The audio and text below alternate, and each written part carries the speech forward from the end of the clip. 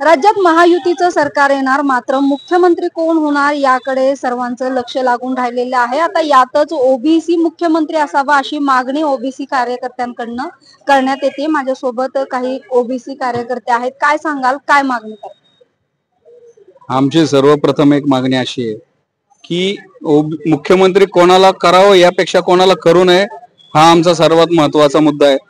गेल्या एक वर्षामध्ये या मनोज जरांगेंच्या जातीयवादी दबावाला बळी पळवून जी त्यांच्यासाठी जे लांगुल नाचन केलेलं आहे आणि ज्या पायगाड्या घातलेल्या आहेत. आणि तशा प्रकारे परत जर करणार असेल तर तसा मुख्यमंत्री आम्हाला नको आहे. आमचा त्याला विरोध आहे.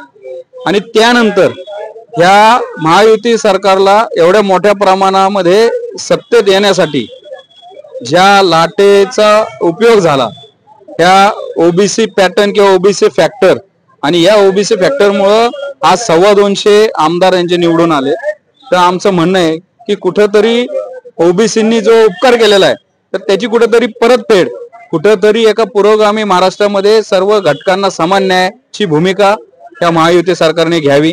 तर गेल्या आठ नऊ वर्षांमध्ये जर ठाकरे फडणवीस शिंदे जर मुख्यमंत्री होत असतील उपमुख्यमंत्री पण एक दोनच समाजाचे होत असतील. तर आता कुठेतरी भाकरी फिरवावी. पण तुमचा तुमचा विरोध का आहे? या अ, देवेंद्र फडणवीस असतील किंवा या या नेत्यांना तुमचा विरोध का आहे? आम्ही मागणी करतोय ओबीसी ना आम्हाला विरोध नाही. आम्ही मागणी करणं काय वावगं नाहीये काय चुकीचं नाहीये.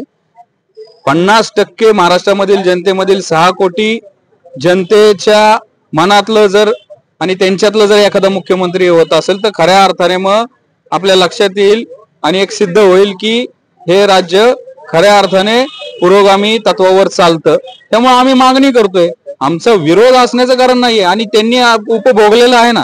मग कुठेतरी आमच्या जे समजा आणि दुसरा एक विषय असा आहे की हे सरकार सत्तेमध्ये येण्यासाठी लाडकी बहीण आणि ओबीसी फॅक्टर हे सर्व श्रुत आहे सर्वांना ते मान्य आहे.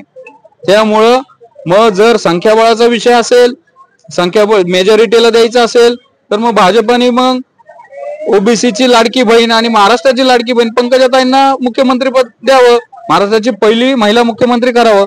आणि जर संख्याबळाचं जर गणित तुम्ही हे करणार नसताल तर मग सर्वात ज्येष्ठ नेते ओबीसीचे नेते आधारस्तंभ भुजबळ साहेबांना मुख्यमंत्रीपद द्यावं उपमुख्यमंत्रीपद द्यावं. आमचं म्हणणं एकच आहे की ज्या प्रकारे आम्ही वन वे महायुती सरकारला सपोर्ट केला त्याचप्रमाणे सत्तेमध्ये वाटा पण त्याच तेवढाच सन्मानजनक या महायुती सरकारने ओबीसींना दिला पाहिजे. तुमचा हा प्रस्ताव तुम्ही पुढे पाठवणार आहात का? राज्यात जे आता सध्या सत्तेत आलेले आहेत त्यांच्याकडे पाठवणार आहात? आम्ही नक्की पाठवू आणि आपल्या चॅनलच्या माध्यमातूनच आम्ही कारण की सोशल मीडिया असेल किंवा इलेक्ट्रॉनिक मीडिया असेल हे लवकर सगळीकडे पोहोचतं आपल्या चॅनलच्या माध्यमातूनच आम्ही ही मागणी करतो की आम्हाला तुम्ही खरंच सामाजिक न्याय देणार असाल तर आमचे जे नेते जे कॅपेबल नेते त्यांना तुम्ही सत्तेतले महत्वाची पद देण्यात यावी. अ, तर आपण पाहिलं की एकूणच पंकजा मुंडे यांना पहिला महिला पहिली महिला मुख्यमंत्री पद देण्यात यावं किंवा ओबीसी जे नेते आहेत त्यांना मुख्यमंत्री पद देण्यात यावं अशी मागणी आता करण्यात येते. सोनाली भालेसिंग पोलीस नामानुसार.